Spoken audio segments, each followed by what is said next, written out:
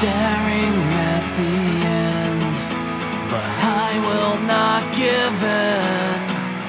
I will, I will fight until the end.